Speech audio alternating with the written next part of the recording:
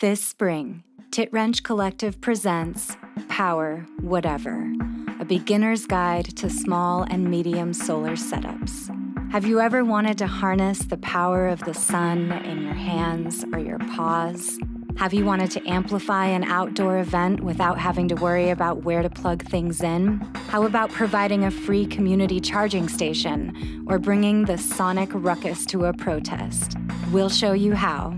Gain hands on experience connecting the different elements of a solar powered sound system. Learn what size panels and batteries you need to bring your ideas to life.